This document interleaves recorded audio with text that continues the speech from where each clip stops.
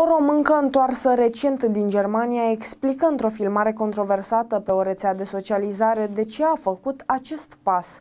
Mesajul ei a stârnit sute de comentarii pro și contra. Adevărul.ro, o româncă a devenit virală pe TikTok după ce a explicat de ce s-a întors în țară după mai mulți ani lucrați în Germania. Tânăra spune că în Germania nu ești liber și că e nașpa, mai ales pentru români. De ce m-am întors din Germania după atâția ani? Toți românii cred că Germania e mega și că neapărat trebuie să ajungi acolo, pentru că vei avea mulți bani. Este o țară civilizată, ai spitale, ai școală bună, drumuri, autostrăzi și civilizație. Ce nu-ți spune nimeni este că e nașpa pentru noi ca români în special și pentru ei săracii, dar ei nu știu. De ce m-am întors din Germania după 10 ani? Toți românii cred că Germania e meca și că neapărat trebuie să ajungi acolo. Pentru că acolo vei avea mulți bani. E o țară civilizată.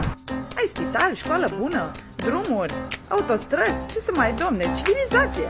Ce nu-ți spune nimeni e că e nașpa. Pentru noi ca români în special, dar și pentru ei săraci, doar că nu știu.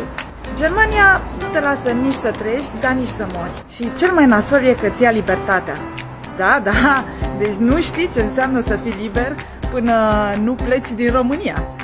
Doar atunci ajungi să apreciezi libertatea pe care o ai aici. Păi și mie chiar îmi place București. Orașul ăsta puțit. E acasă, are o super vreme, veselie și viață bună.